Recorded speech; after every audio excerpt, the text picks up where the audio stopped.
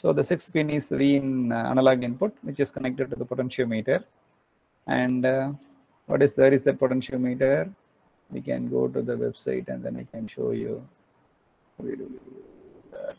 ALS Electro. Here, go to the development kit. Here, 8051. Going to this. So this is the ADC. Okay. This is the analog to digital converter. This is the potentiometer what I was talking about. So which potentiometer is this? This potentiometer, one kilo ohms. One kilo ohms potentiometer is this. This is the 20 pin ADC. This is D0 to D7. You can see D0, D1, D2, D3. Able to see D0, D1, D2, D3, D8. So the eight analog to digital converted eight output will be coming out through this. Through some 8 pin cable, we can take it to the LED and then we can check whether it is converting or not.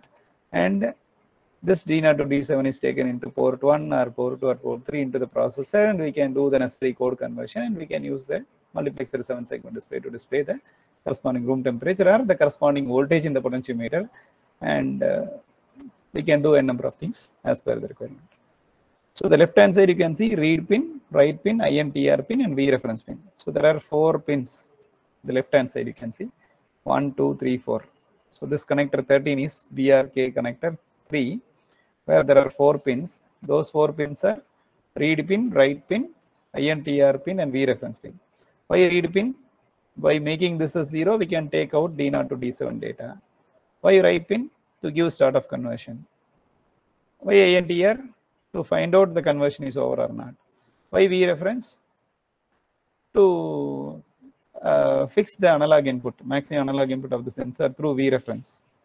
If my if I have connected instead of potentiometer, if I have connected LM35 temperature sensor means I have to connect uh, 250 millivolt as my analog input to V reference by 2.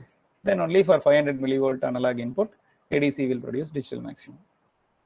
One end of the potentiometer is connected to 5 volts. Another end of the potentiometer is connected to ground. So when we adjust the knob means the voltage will vary from 0 to 5 voltage. So no need to connect any anything to V reference. So default it is fixed for 0 to 5 voltage. So analog input, digital output, start of conversion, end of conversion, adjusting the V reference is very clearly available in this. So this is the ADC circuit diagram inside this. This is the 4 connector. This is this 4 pin uh, connector here. And this 8 connector 10, which is connector 10. You can see this is connector 10. We have digital outputs. This is connector 13 where you are having read, write and INTR and V reference as you see here. So connector 13 and connector 10. So we need to look at the data sheet first. Then we have to look at the circuit schematic of the board user manual because the board was from uh, ALS Electro. So we are able to check the circuit schematic shared by this company. Start.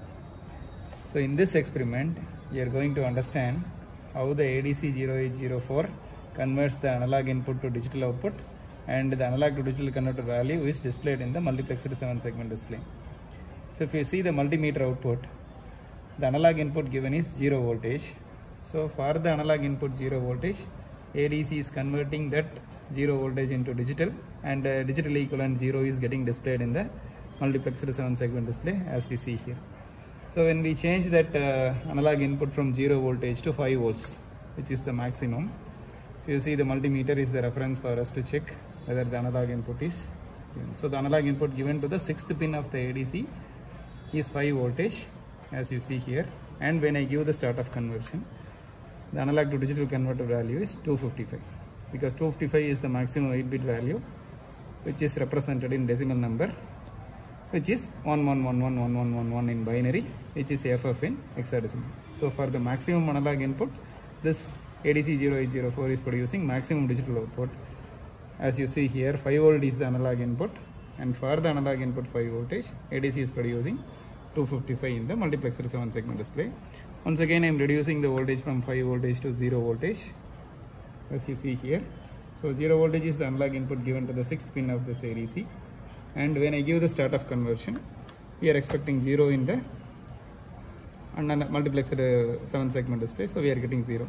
So now I am getting giving the in between value. So somewhere am my analog input voltage is 3 volts now analog input voltage is 3 voltage so when I give start of conversion so for 3 voltage so the analog to digital converted value is 89 similarly when I change the voltage analog input voltage to say for example 1.57 so for 1.57 analog input voltage 74 74 when I give the analog input voltages close to 4 volts say for example when my analog input voltage is 4 voltage means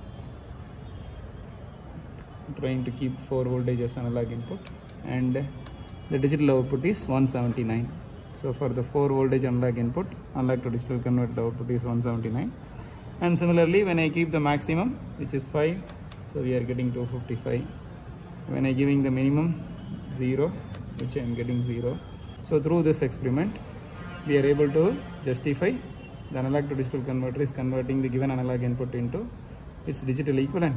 That digital output is taken out and then given to the 8051 microcontrollers port 3 input.